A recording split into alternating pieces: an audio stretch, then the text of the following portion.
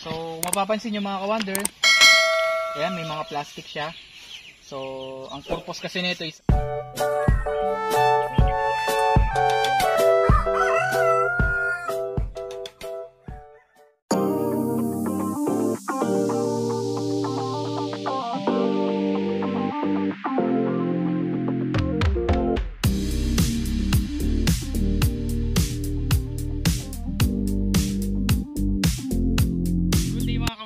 welcome back sa aking YouTube channel. At this time mga ka-wonder, isa mag-harvest tayo ng mga gulay. Kung mapapansin nyo, meron tayong patola, tsaka may mga okra tayo. At syempre yung ating mga talong mga ka-wonder. So tara, mag-harvest lang tayo. Sunod ka siya ah. Okay, sunod ka naman. So mapapansin nyo mga ka-wonder, ayan may mga plastic siya. So, ang purpose kasi nito is ah, para hindi siya kagatin ng mga insekto. So, tulad nito, mga kawander, ayan, yung mga yan, kinagat na ng insekto yan, kaya hindi na lumaki. Kaya, ayan. Ha? So, marami-rami yung bunga na itong ang patola natin ngayon, mga kawander. Kaya, ayan, sulit na sulit yan. Dalawa. Ayan, gaganda oh. Ayan, gaganda niyan mga kawander. Pati ka. So, Patiri. so maliit pa to. So, ito. Ayan. Ganda oh. Laki.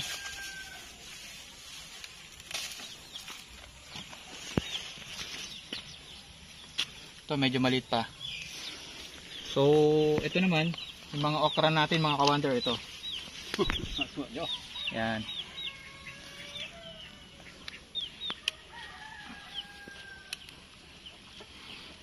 Yan.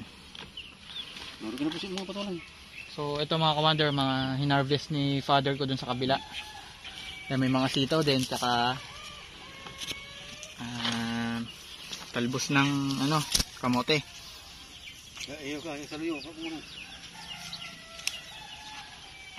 Ah, medyo makunat ah. Pagirangan mo. So, may gunting naman pala. Yan. Whoop. Ito pa.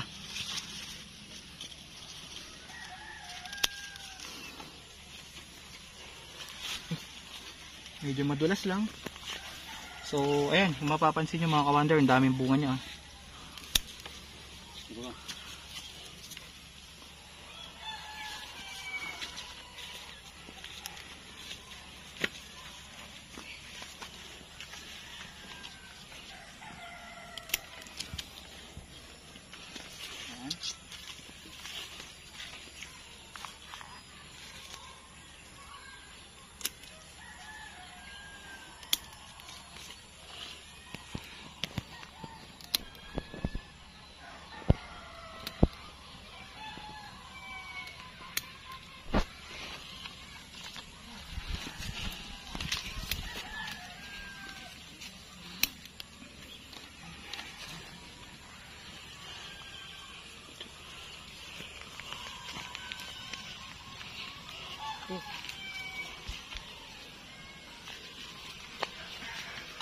Ayan, so ayan mga ka-wonder.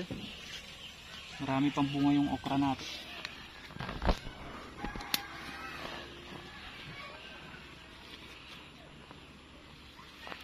Ito pala, nak.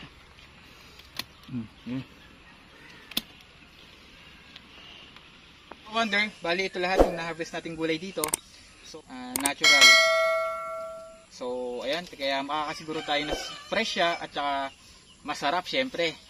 Alright, ngayon naman mga ka-wonder, ipapakita ko lang sa inyo yung loob ng manuka natin ulit kasi medyo matagal na hindi natin ah, na-visit ito kasi gawa nung ginagawa nga yung uh, kasalukuyang ginagawa yung, yung kubo-kubo natin dito mga ka-wonder. So, ayan, kung mapapansin nyo, medyo kalat pa yung loob at ah, ayan, tara, puntahan natin. So, bali ito yung loob ng manukan natin mga ka-wonder. Kung mapapansin nyo, ah, medyo may kaguluhan pa siya talaga. Totally, magulo pa. Kasi nga, kasalukuyang ginagawa yung kubo-kubo natin. So, ayan, papakita ko lang muna sa inyo yung mga manok natin at ah, mag-update lang tayo.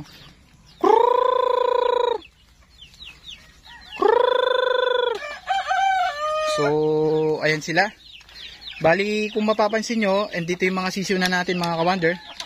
Sisiyo ng ating mga Rhode Island Red tsaka ng mga Black Australorp yan.